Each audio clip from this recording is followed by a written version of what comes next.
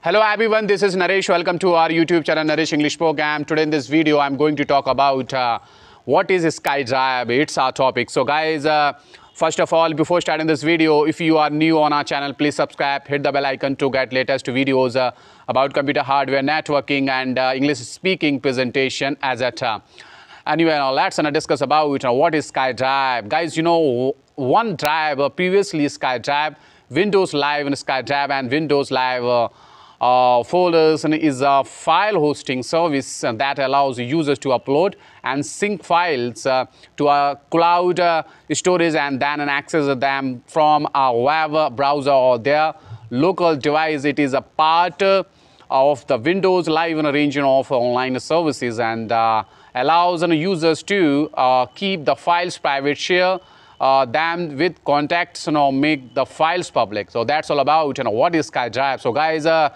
how did you like this video? Like, share, comment for me and thanks for watching my video.